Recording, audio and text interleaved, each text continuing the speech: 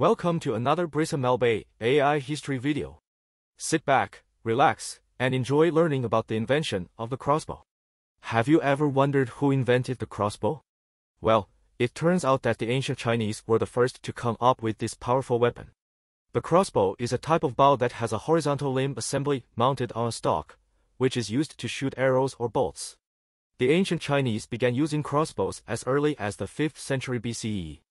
They were initially used in hunting, but soon became a popular weapon in warfare.